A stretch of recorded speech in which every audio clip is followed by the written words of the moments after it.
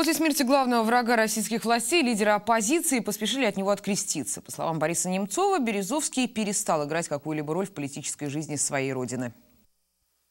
Под конец своей жизни, в общем, не сказать, что он стал нищим, но то, что он разорился, это очевидно.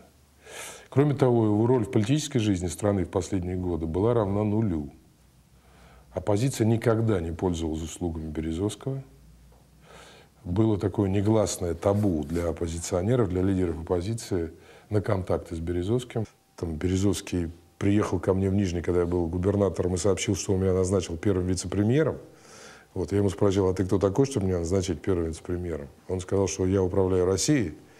На что ему сказал, а Ельцин чем-то тогда занимается? Он сказал, ну, Ельцин ко мне сильно прислушивается. Комментируя уход из жизни Бориса Березовского, Немцов заявил, что опальный олигарх поплатился за то, что в свое время помог Владимиру Путину стать президентом России. Его роль стояла в том, что он привел к власти Путина. И это не фигура речи, не абстракция, это абсолютно содержательные конкретные действия. Ну, во-первых, он ему давал деньги. Сам Березовский мне говорил, что он ему дал 25 миллионов долларов – на выборы. Во-вторых, а, он все свои медийные ресурсы тоже подключил для избрания Путина.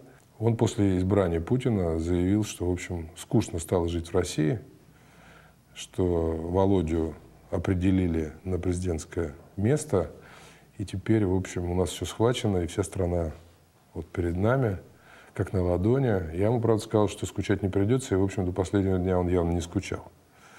Путин не мог ему простить эту поддержку, эту помощь и с ним боролся.